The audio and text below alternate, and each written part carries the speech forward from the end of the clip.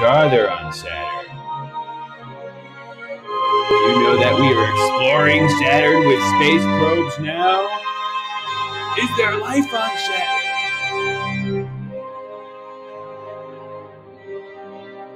All right, let's get down to business, guys. Here we go. Um, so this video is just for string instruments. Moons of Saturn. It's a chart that you're going to have to follow along with. This is the fingering underneath the note. This is your open G string, arco, right? Rest for space sounds. Then just remember, this is D1, so you're going to put your first finger on the D string. D1 and a half, you put your second finger right next to your first finger.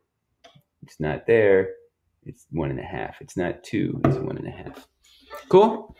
Um, and it tells us as we go which instruments join as we're playing along. Cool?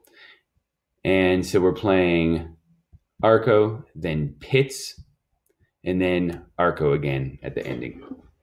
Here we go. Moons of Saturn, everybody. Strings.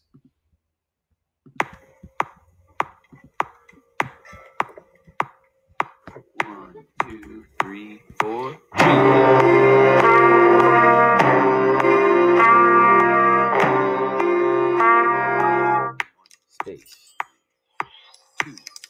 Get ready for pizz. Three, four. With the cellos. Let's go. Cellos. Cellos. Flute and clarinet join.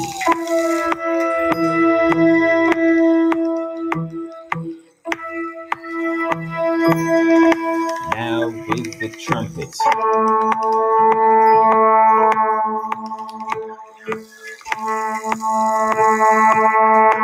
Flute and clarinet again.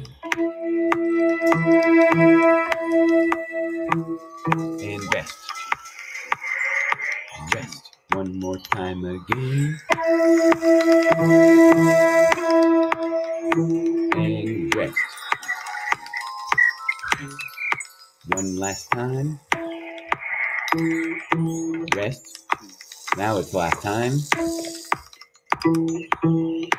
Bass drum and E one and a half.